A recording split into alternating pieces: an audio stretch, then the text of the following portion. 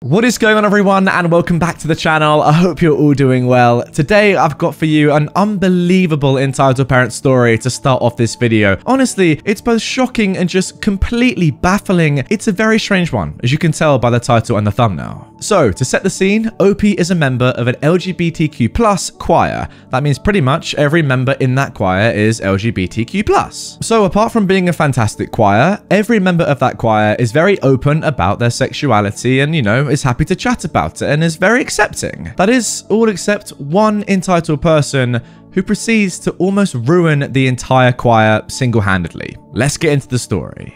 But if you transition, it'll be inconveniencing me. Hey everyone, a while back I posted in r slash am I the butthole about a person in my choir who wheedled their way into getting a solo performance without any agreement from the rest of the group. Now, I was deemed the butthole for not backing them up for said performance, but it didn't really matter in the end because I was in hospital for the duration of that concert anyway. But that's a whole other barrel of monkeys. I come here today with another story about this person and their entitled behavior.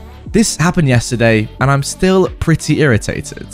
So, some backstory. The choir I'm part of is a queer centric choir. It's supposed to be a comfortable and accepting place for LGBTQ plus folks. And it was. But the entitled person of the story frequently causes other people to be uncomfortable, annoyed, or just plain put off. They are extremely pushy, overly critical, and have a not so subtle habit of rolling their eyes and muttering under their breath when someone asks for help on their section's part.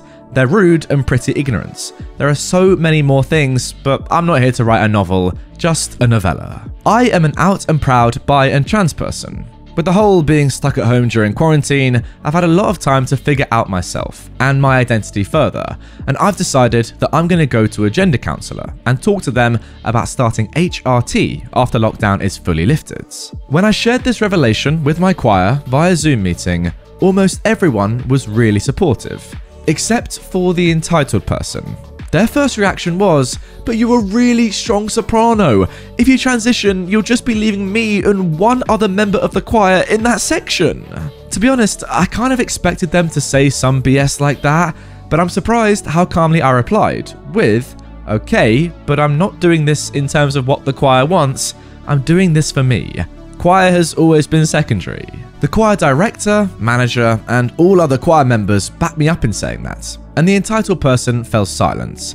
I got no apology though, no acknowledgement of how rude they'd just been.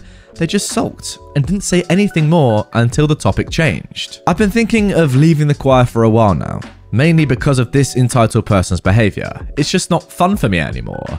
It's another reason to get stressed out and annoyed, and I'm not about that life. This is just another straw on the camel's back, and the next practice we have may just be the one where I return my music and quit. So, yeah, I just wanted to get that out there. Maybe I'm being a bit entitled and bratty too for considering quitting, but come on, who says that to someone when they come out with that kind of news in an LGBTQ plus choir? OP, please, whatever you do, do not leave the choir. It sounds like it's fantastic. You're with a great bunch of people, and the only reason you may not be enjoying it for this one period of time is because of this one entitled person. I mean, come on, it's an LGBTQ plus choir. The whole point of it is being open with each other, you know, and, and accepting about, you know, your sexuality. I don't get it. I just don't get it at all. If anything, surely it should be the entitled person that gets kicked out and not you having to leave. Seriously, like, it should be obvious to everyone. Look, no one wants to kick anyone out of a group. Let's be fair enough on that. It's not a nice thing to do. But if they're the person that is causing other people like yourself to leave because you can't stand being in the same group as them, then unfortunately, they're the ones that need to go. And I just hope the rest of the members of your choir see that and actually, you know, make sure that you're not the one that, that leaves and that it's actually the other way around in the end. Now moving on to our second story. She tried to invite a no contact guest. For some context, my family's a little awkward. I'm limited contact with my mum due to years of abuse towards me, physical and emotional, and I'm fully no contact with my younger sister due to her being, well, a terrible person in general. Hateful, super homophobic, thinks people in the LGBT community choose to be victims because they like being treated badly, that being gay is a choice, that LGBT people don't deserve to be treated like actual people, etc. These are all things that she said to me, a member of said community. And my mum knows this. What a start to this story, my god. So, a couple of days ago, my amazing future mother in law wanted to take me dress shopping to get ideas for a wedding dress along with my cool older sister. We debated whether or not to invite my mum, eventually deciding that the drama of not inviting her would be worse than anything she could do. We were waiting for my mum at a restaurant to meet up with her before dress shopping. And that's when I got a call from my older sister. She said, You might want to let mum know you don't want your younger sister coming with. She just said she's invited her. I hung up and called my mum, starting out with, No, my sister is not coming. And she immediately started in with a whining voice, making her voice sound like she was going to cry, begging me with phrases like, But why? And can't you just get along for me? And I know you had an argument. Yes, she called my younger sister, saying all those things to me a simple argument. But can't you just move past it?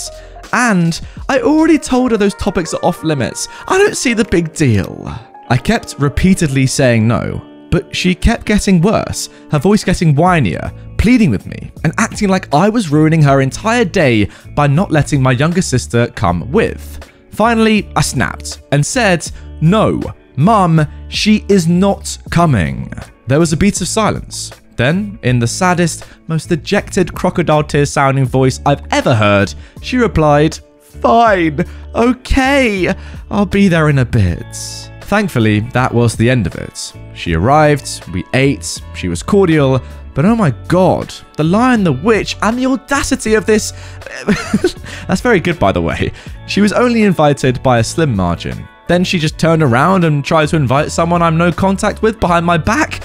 Yeah, there's a reason I'm limited contact with her. Yikes. Well then, a little bit of an LGBTQ plus theme to this video. Hope you guys are enjoying it. Um, it's very strange that two sisters can be obviously related and hate each other so much to the degree that, that this sister, OP's sister, well, I don't, to be fair, it's not even OP, is it? It's just her sister. Like, OP's a completely normal person. Seems pretty nice to me. Her sister's just off the rails. How can you be that mean and horrible and abusive towards your own sister? I don't get it. Especially like, obviously like when you're kids, you might fight and stuff, but actually saying those horrible abusive things about someone's sexuality, your sister's. I mean, it's just, it's unbelievable. I can't really understand what you would gain from that. I mean, she must genuinely believe the things she's saying because they're so outlandish that you wouldn't just say them for a bit of chat, would you? Or to make a joke. Just a horrible, abusive person. I'm sorry, OP, that that is your sister. And to be fair to your mum, whilst you're obviously still limited contact with her for a reason, I think she should probably understand that, that you don't want to see your younger sister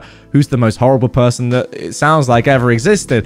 Because come on, she's just horrible about everything that you that you stand for and that you are as a person. I get it that your mum obviously wants her two daughters to be friends, but after all the years of your younger sister abusing you, she should probably see that that's not gonna happen.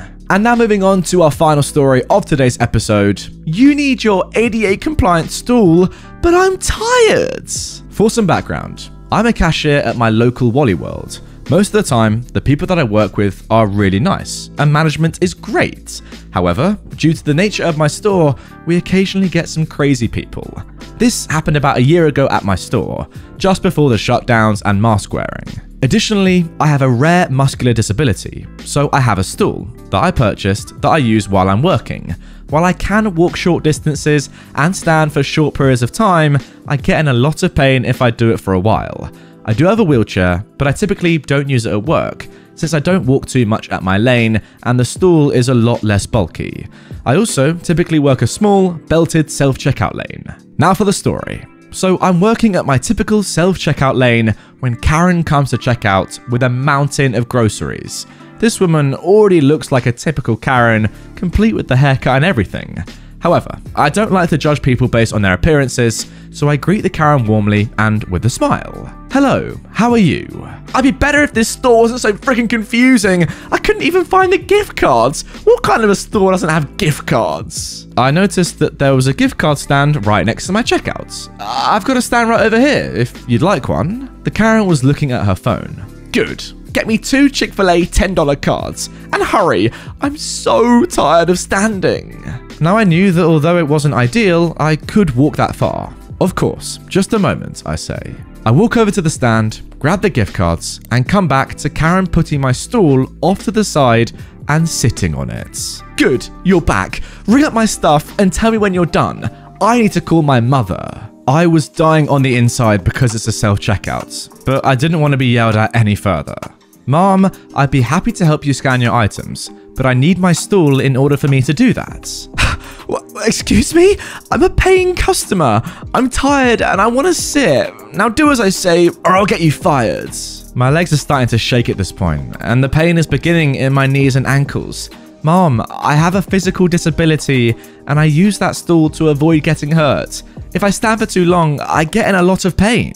Well, I had to stand for hours to get all of this, and you're probably faking your disability so you can sit. Just check me out.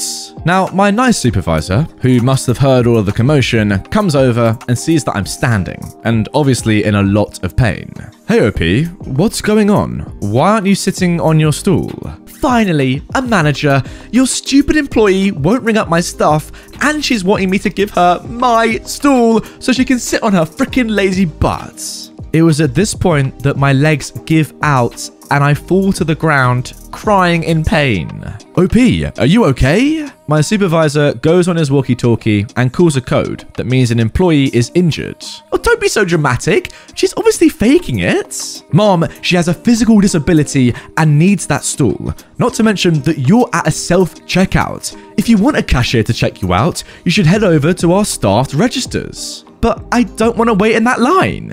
At this point, the manager of our store has come practically running from the back. What has happened here? Does she need an ambulance? I shake my head no, still crying. Meanwhile, Karen starts snapping at the manager. Hello, I still need someone to ring me up. My ice cream is going to melt. Mom, we have an emergency with our employee. We need to help her first. Once this has all been settled, I'll gladly help you. She's faking it! And besides, she's too fat for this store anyways. Mom, get out of the store or I will call security. You do not get to talk about my employee like that. You have to check me out! It's the law! Leave now. The Karen then starts screaming at my manager that we clearly don't know who she is or what she can do to us if we don't check her out immediately. During her rants, my nice manager, finally having heard enough, turned to the supervisor. Supervisor, call security. He nods and calls for them on his walkie. Karen then shrieks even louder, demanding the number for corporate so that she can report how horrible this store is at customer service. Security shows up quickly, and they almost drag Karen out of the store. The manager and supervisor make sure I'm okay and tell me to take the rest of the day off, fully paid. They then call my mum, who comes to pick me up and take me to the urgent care just to be sure. Now, I'm fine, but they give me a note to take some time off to rest.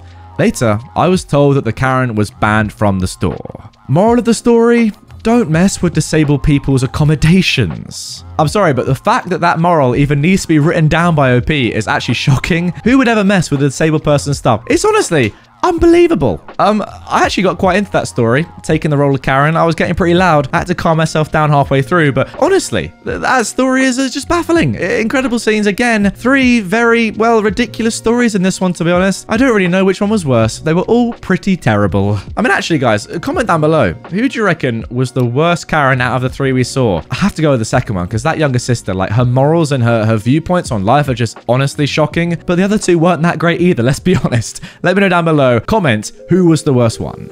Anyway, guys, that is going to do it for this episode of r slash entitled parents. It's definitely up there. These three Karens, my god, they're definitely up there on the Richter scale of who's the most explosive, that's for sure. If you do want some more from me right away, do check out a couple of videos on screen. And if you are new to my channel and you haven't seen one of my videos before, please do subscribe for more. I post there daily. And uh, yeah, with that being said, I will see you all tomorrow for a brand new upload, same time, same place.